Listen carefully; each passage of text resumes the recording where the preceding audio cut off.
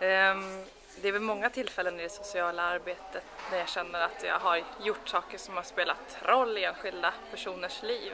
Särskilt när jag jobbar med flyktingmottagande som var det ju väldigt ofta som man kände att det var tillfällen till exempel. Det var en ung tjej som för första gången skulle gå i skolan och liksom hjälpa in henne i den rollen var väldigt betydelsefullt och också såklart när personer som inte har trott att de ska kunna få ett jobb någonsin kanske har, har fått ett jobb och kommit igång och ett självständigt liv.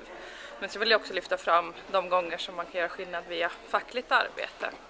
Och där, särskilt när vi har sammanfört socialarbetare eller de verksamma inom socialt arbete och politiker utifrån ett enskilt tema, inte utifrån ett problem utan att pr prata om förutsättningarna för arbetet. Politiker vill ju gärna prata om hur man ska minska hemlösheten till exempel men glömmer lätt bort att också prata om behovet av förutsättningar för de som ska jobba med att minska hemlösheten. Och det har blivit ett jättebra samtal som jag verkligen upplever har gjort skillnad. Så det vill jag slå ett slag för att prata med varandra.